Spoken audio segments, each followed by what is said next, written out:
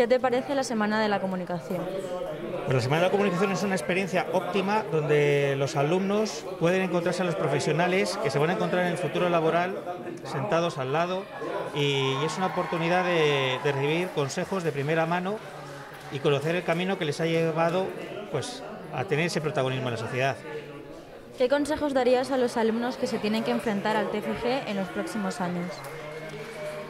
Sobre todo les diría que sean, que le pongan alma y que sean previsores, que se organicen los tiempos, porque muchos traen unas ideas de especial sensibilidad y extraordinarias, pero hay que ponerle trabajo, orden.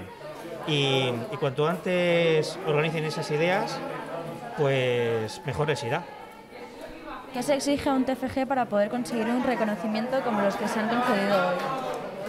Para conseguir un premio como los que se han dado hoy, se exige que se plasme ese conocimiento, las competencias y que, y que se lleve a cabo de una forma impecable, que, que, que transmita alma, que sentimientos, que, que, tenga un valor añadido y que eso siempre lo trae cuando, cuando, cuando se pone pasión en un proyecto, en la vida.